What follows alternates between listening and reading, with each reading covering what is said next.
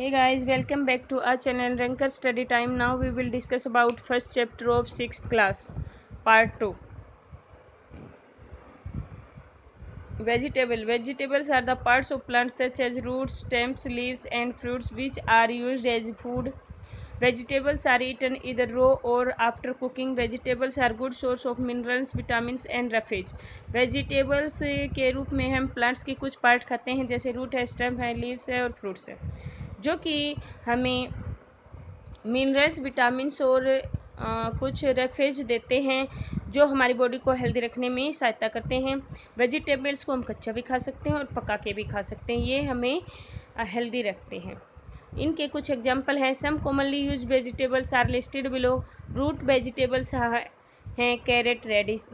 Leafy vegetables हैं, मेथी spinach stump vegetables हैं potato अरबी हर्बेज वेजिटेबल्स हैं कैबेज कॉलीफ्लावर्स फ्रूट वेजिटेबल्स हैं टमेटो एंड ब्रिंजल इसके अलावा और सारी वेजिटेबल बहुत सारी वेजिटेबल हैं, उनके लिस्ट बनाओ और वो कौन सी हैं रूट हैं लीफी हैं स्टम्प हैं, वो अपने टीचर से डिस्कस करो। नेक्स्ट हैं फ्रूट्स फ्रूट्स हैं are the ripened ovaries of flowers. Fruits are commonly eaten raw. Fruits are rich in vitamins, minerals and sugars. जो कि कार्बोहाइड्रेट भी कहलाती है फ्रूट से पके हुए ओवेरीज हैं फूलों की फ्रूट्स को हम कॉमनली कच्चा ही खाते हैं और फ्रूट से हमें बहुत ज़्यादा विटामिन मिनरल्स और शुगर मिलती है जो हमारी बॉडी को हेल्दी रखते हैं और जो हमारी डिज़ीज़ होती हैं उनसे लड़ने में हमारी सहायता करते हैं नेक्स्ट है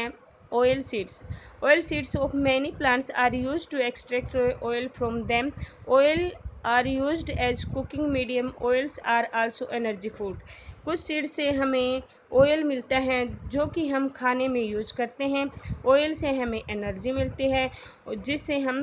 बॉडी जो हमारी बॉडी के लिए ज़रूरी है और हम काम करने के योग्य होते हैं sugar certain parts of some plants are rich in sugar sugar is a carbohydrate the stem of sugar cane is juicy this juice contain sugar called sucrose root of beet are also rich in sugar कुछ plants के parts में sugar होती है, जैसे sugar cane के stamp में जिससे हमें शुगर जिसे,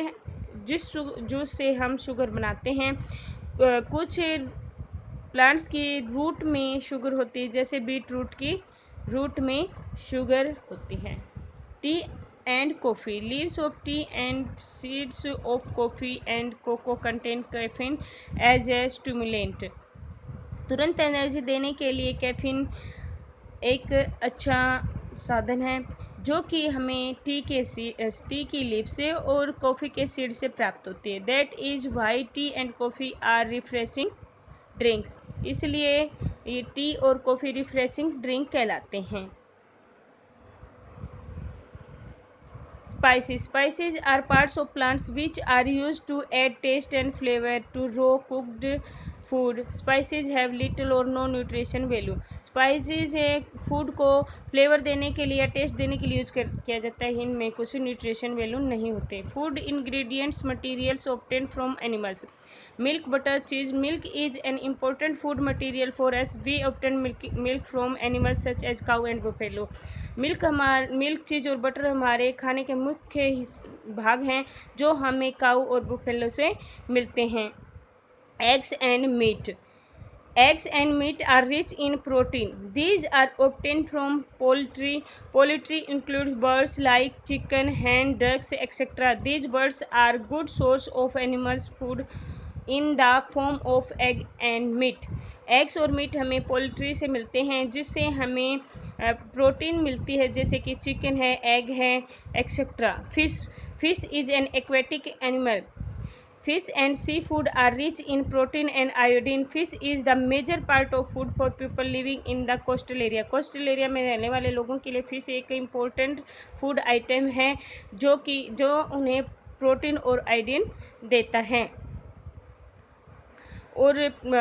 फ़िश एक एक्वेटिक एनिमल भी है honey honey is rich